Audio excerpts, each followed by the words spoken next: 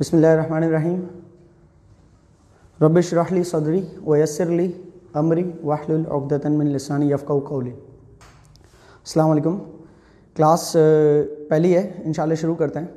उसको शुरू करने से पहले मैं दो तीन बातें कर दूँगा। एक सबसे पहले क्लास का लेआउट समझा देता हूँ। आप ऑनलाइन है और यहाँ पर भी हमारे पास बच्चे बैठे हुए हैं। और, एक क्लास कल्चर है पूरा।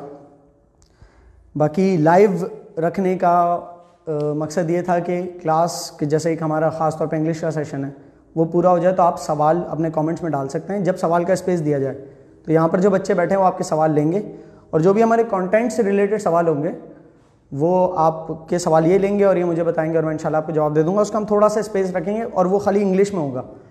जोग्राफी हिस्ट्री में देख लेंगे अगर वो हमें मौका मिला, क्योंकि टाइम का मतलब बड़ा मसला है, क्योंकि बहुत कम टाइम है और हमारे पास कॉन्टेंट बहुत ज़्यादा है कवर करने के लिए। क्लास का मिजाज हमारा इंशाल्लाह ऐसा होगा कि कोशिश करेंगे जो भी बात कही जाए तो उसका कोई बैकग्राउंड दिया जाए, उसके, उसकी कोई मतलब कोई बात छोड़नी नहीं हमें।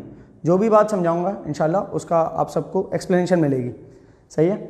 और उसके बाद भी किसी को कॉम्प्लेक्सिटीज़ ज़्यादा हैं और प्रॉब्लम्स होती हैं तो वो यूट्यूब पे कोशिश करेंगे, इंशाल्लाह इन क्लासेस को हम लॉन्च करें। यूट्यूब पे हमारे चैनल है ई स्क्वाड अकेडमी के नाम से। तो वहाँ आप सब्सक्राइब कर लें तो आपको अपडेट्स भी मिल जाएँगी। और एक डिस्क्लेमर है, मेरा पर्सनल एक्सपीरियंस जो है, मैंने 90 percent of my teaching experience मैंने ये तकरीबन तेरह चौदह से लेकर अठारह साल तक के लड़कों को पढ़ाया है ज़्यादा। तो थोड़ा सा अंदाज में जो है ना, बेतकल्लुफ़ी आ सकती है किसी पॉइंट पे। तो सेरेमोनियल नहीं होगा, आगे तक अभी थोड़ा सा है शुरू में, लेकिन बिल्कुल नेचुरल हो जाएगा सब कुछ। चले शुरू करते हैं। सबसे पहले ये जो अभी दुआ पढ़ी गई ये सूर्य तोहा की आयत नंबर 25 से लेकर 28 है। और, ये मैं खोल देता हूँ यहाँ पर। यह है वो दुआ। इस, ये दुआ हज़रत मूसा सलाम की है। और इसका थोड़ा सा मैं पस मंज़र दे दूँ बैकग्राउंड क्या है। एक पहले वाक़ है, इसके साथ जुड़ा हुआ जिसकी मैंने तहकीक नहीं की, जैसा मेरे इल्म में हज़रत मूसा सलाम जब छोटे से थे तो उन, कुदरत का ये करना हुआ, अल्लाह का ये करना हुआ कि उनकी परवरिश फ़िरौन के घराने में ही हुई। हालाँकि तब फ़िरौन ने हुक्म दे दिया था। उसके काहिनों ने कहा था कि एक बच्चा जो है, एक ताबीर दी थी कि एक बच्चा आएगा और वो फ़िरौन के लिए ख़तरा बनेगा। तो उसने सारे जो है ना, हमला औरतों, उसके मतलब बच्चे मरवा दिए, इस तरह से किया। तो हज़रत मूसा सर्वाइव कर गए थे, उसका पीछे एक बड़ा बैकग्राउंड है। खैर, और हुआ भी ये कि आखिर में फ़िरौन के ही घर आके उनकी परवरिश होना शुरू हुई।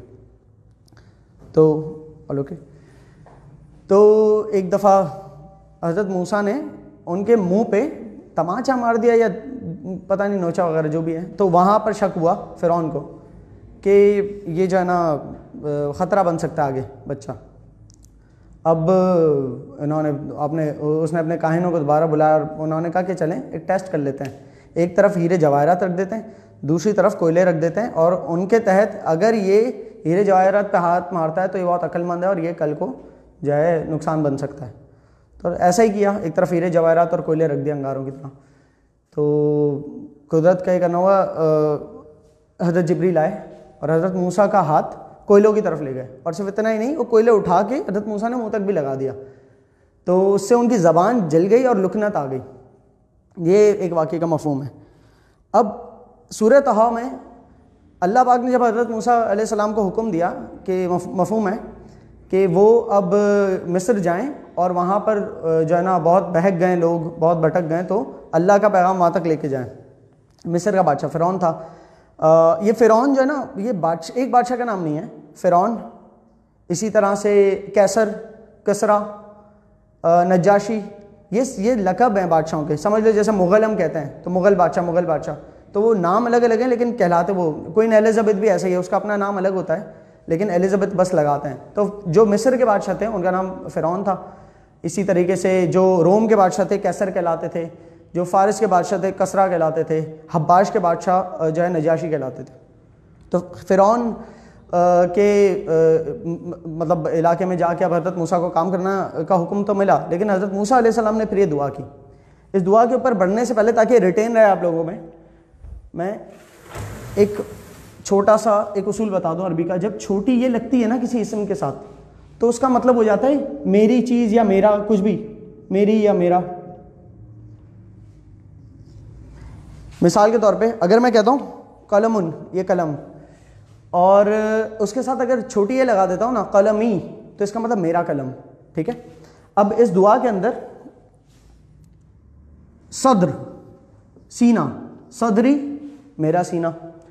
इसी तरीके से अमर मतलब काम, अमरी मेरा काम।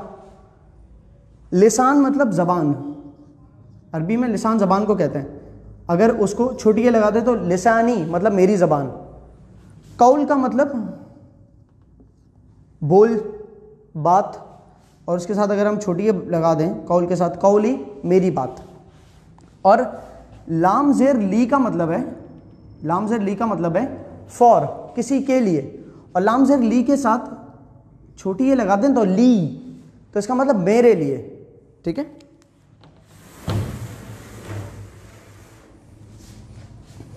रबिश रह ली सदरी। परवरदिगार, यहाँ वैसे है मेरे परवरदिगार। ये छोटी ये जो अट गई किसी ग्रामर के कायदे की वजह से। मेरे परवरदिगार, शराह मतलब खोल दे। वो जो है किताबों की शराह होती है। वो किताबों की शराह होती है, तफसीर होती है, खुली, खुले खुले मायनों में पूरे लिखी जाती है। तो शराह का मतलब खोल देना। रबिश रह, परवरदिगार, खोल दे, ली, मेरे लिए, सदरी, मेरा सीना। यदत मूसा, दुआ कर रहे वयसर ली वयसर ली अमरी। और वह का मतलब और यसर मतलब आसान कर दे, ली, मेरे लिए अमरी मेरा काम। वहलुलदतन मिन लिसानी और मेरे ज़बान की गिरा को सुलझा दे। लिसानी मतलब मेरी ज़बान। ठीक है? अब लुकनत थी ना हज़रत मूसा सलाम की ज़बान में तो उन्होंने कहा कि दुआ में कहा कि मेरी गिरा सुलझ जाए ताकि रवानी आ जाए। यफ कहू कौली और मेरा कौल लो, लोग समझ सके ताकि लोग मेरी बात को समझ सकें। ये इसका मतलब है। दुआ का। और स्टूडेंट्स को चाहिए टीचर्स को चाहिए, दुआ ज़रूर पढ़ें, ताकि हमारी बात अल्लाह पाक से डायरेक्ट हमें मांग रहे। हैं या का नाम दुआ या के नस्ताइन अल्लाह की इबादत करते हैं और अल्लाह से ही मदद मांगते हैं तो हर मुश्किल काम में। ये दुआ टीचर्स के लिए स्टूडेंट्स के लिए, जब पे एग्ज़ाम्स दे रहे हो तो एक कहते हैं कि इस दुआ के साथ शुरू करें तो इन समझने वाले के लिए जो चेकर है, उसके लिए आसान हो जाएगा। हमारे पहला जो हमारा एरिया होता है इंग्लिश का, फिर जोग्राफी हिस्ट्री पर्सनैलिटीज़ और अवेयरनेस इसमें जियो हिस्ट्री लिखा है। ये जोग्राफी हिस्ट्री जब इस पर आएँगे, समझाऊँगा इस लफ्ज़ का, वो क्यों मिला है।